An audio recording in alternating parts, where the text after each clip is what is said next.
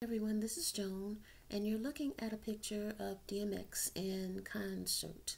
And this picture came from the CB News channel. That's where I got it from. Where they got it from, I, I don't know. But in any case, um, my condolences because, as, as you undoubtedly know, DMX passed this morning, or at least they announced it, the family did this morning and they said from a drug overdose. Now, I hadn't really given much thought. It's kind of like if they said it's a drug overdose, I guess it was a drug overdose. But then I heard other people saying that he had taken, what was a family member saying that he had taken a vaccination so that he could travel to perform and that they think that that, that might have had something to do with his timely his untimely passing at the age of 50, um, I can honestly say I don't know. I mean, it might have the the vaccination as far as I well, it hasn't been out long enough to be tested, so maybe maybe not.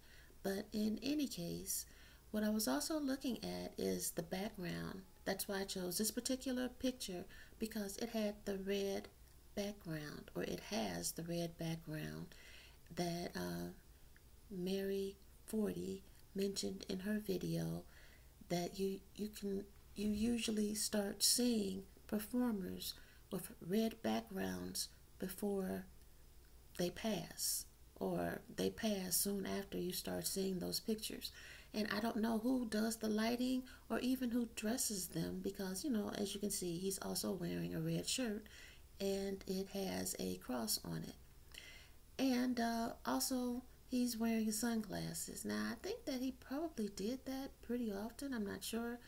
But I know that psychologically, when you see someone wearing sunglasses and you see no real hint that there's a sun shining in their eyes, it generally could be interpreted that they have some sort of a secret, something that they don't want you to know. Now, when when I look at this picture, or when, well, actually, I looked at Dr. Shauna on her channel talking about DMX and his background, how his mother abandoned him, his father had already abandoned him, how he was homeless, and basically, she's stating that this is um, common, not common, but this happens in the black community and that if you look at the listen to the read the lyrics to one of his songs in particular he talks about the pain that he has endured and that how and how this has made him the man that he is. So what i wanted to add to that is that is looking at it from a well a spiritual because i don't really want to say religious but looking at it from a, a spiritual perspective i think that the devil reigns from pain. Okay, part of the reason why I think that they try to, why you see so much pedophilia allegedly with occultism is because they want to inflict pain on a child to open up their consciousness to outside control or spiritual control. And also, once a child at a very early age is abused, they may not remember the abuse. They might have the characteristics of someone who has been abused, but if you ask them, they might tell you, No, nothing like that ever happened. I came from a very happy home because they can't process it. It could cause something called a split. Now, the thing about psychology is that some of the techniques that they teach people to use to assist people in healing are some of the same techniques that witches use. It's kind of like witchcraft. Anytime I think that you are trying to trick someone into change without them consciously knowing about it, that that is what you're trying to do, that that is akin to witchcraft. Now, I know that that is definitely not going to be a popular view, but I think that I'm not really looking so much for popularity as for truth. And if you, like I said, even look at what he's wearing, he's wearing red. His background is red, and he's also wearing a cross. So he did talk about, as far as I know, because I was not really a follower of DMX. I liked the song Y'all Gonna Make Me Lose My Mind, and I liked him from Romeo Must Die with Aaliyah. But beyond that, I really wasn't paying him very much attention. And I think that you really don't. Now, I think I heard he sold 120 million units of music, and I think that you just don't get that high without really, um, you could say, I don't want to say selling your soul because I don't know if that's what he did, but I don't think that you get that far in this world that is at the moment being ruled by the devil without doing something. And I think that what happens is the devil wants people in pain because then they'll do whatever to get rid of that pain. If everybody was just walking around here and, and he was not causing some people to live in extreme poverty, other people to live in abusive situations, they would not be so receptive to to doing whatever it takes to alleviate the pain. So he causes the pain. Then he offers the means to end it. That is also a description of what a lot of narcissistic people or characters it's a it's a trait of a narcissist.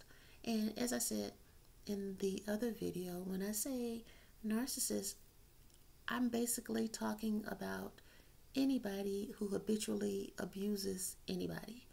Okay, that is if they are physically, emotionally, psychically, financially, they're doing this habitually to people who are not doing anything to them, then to me that's that's a narcissist. Now I know the technical term might be sociopath or or whatever, but when you are in a situation where someone is taking advantage of you and you find you feel that you cannot get out of that situation, you probably don't care very much whether they should be called the correct term.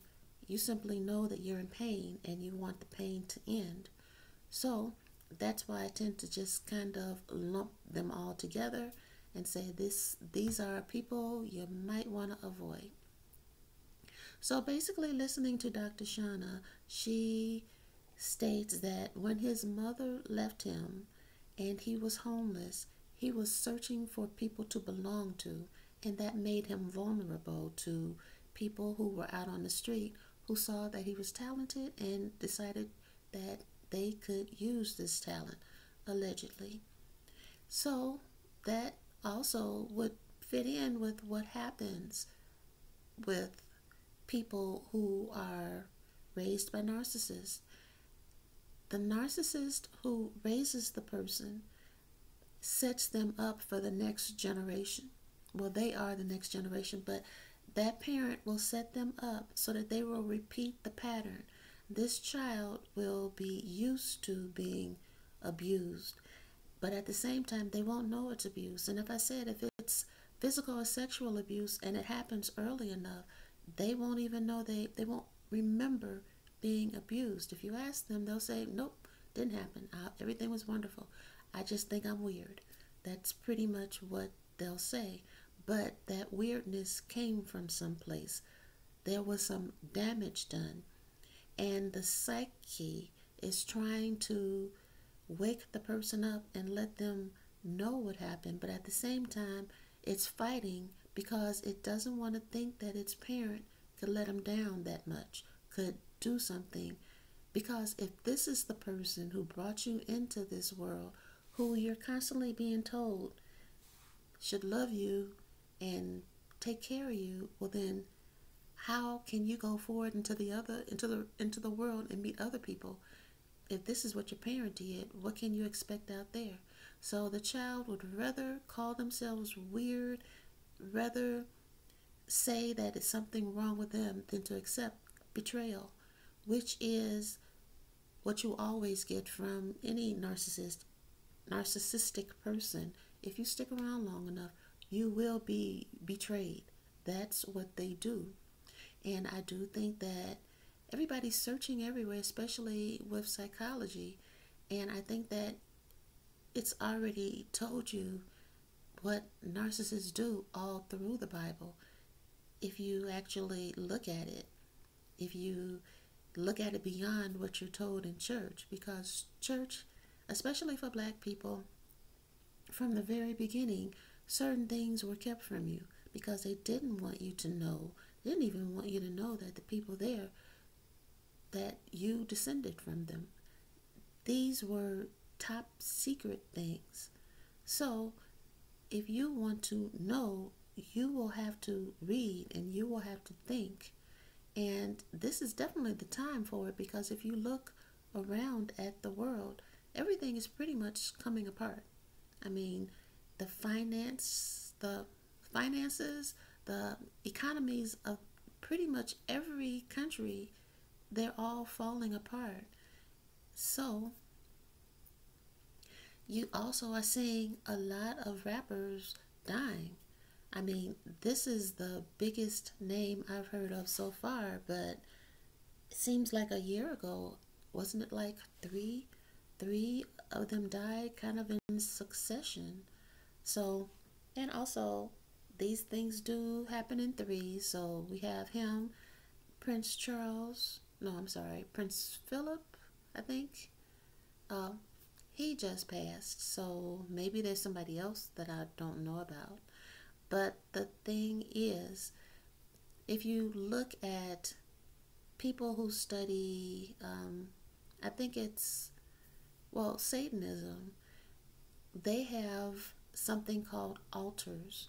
So, what that is, is trauma induced into a person so that they will develop an alter, that is, an alter ego. And in psychology, it's dissociative identity disorder. But it's pretty much the same thing. And I think if you really look at it, psychology and Satanism are kind of describing this, well, they're definitely describing the same things. But the thing is to traumatize someone to the point where the mind splits and has to develop an alter ego to protect it to protect itself from further harm. And you hear that with many of the celebrities where they they have one name but then they have another name to protect that particular persona. So none of this is in any way saying anything negative about DMX. Like I said, I I knew of him, but I didn't follow him or anything. I don't really follow anybody that much because um, again, I wish um, um, condolences to his family and his friends because it's a horrible thing when anybody passes at any age, you know.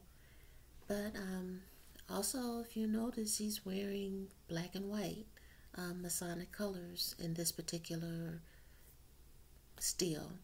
So I think, like I've said before, I really don't think anybody gets that far in this world that is ruled by the evil one without having to have taken some sort of initiation or something. But, you know, who knows? Maybe he did, maybe he didn't. And as far as taking the shot again, the family member, according to this article, CB News, definitely states, yeah, he did take it, and um, he he is not he is no longer with us. So uh, rest in peace, and try to um, dust off your Bibles because I know pretty soon you might not be able to. And there was someone else called EYA who I'm not sure if she's still on YouTube but she looked at Bible changes. Now, I know that certain things have changed in the Bible. That doesn't mean that it's still not a valuable book, but I do believe that certain things have changed. So read as much as you can now while